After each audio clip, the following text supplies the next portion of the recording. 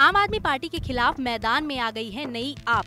इससे पहले कि आप कंफ्यूज हों, आपको बता दें कि इस नई आप का पूरा नाम है आपकी अपनी पार्टी।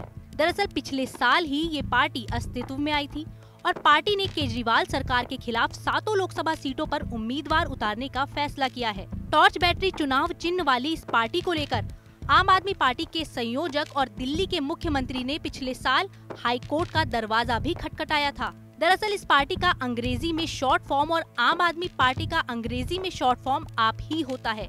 इसी को लेकर आम आदमी पार्टी ने दिल्ली हाई कोर्ट में याचिका दी है और याचिका में कहा गया है कि दोनों पार्टियों के नाम एक जैसे होने से मतदाताओं में भ्रम की स्थिति पैदा होगी।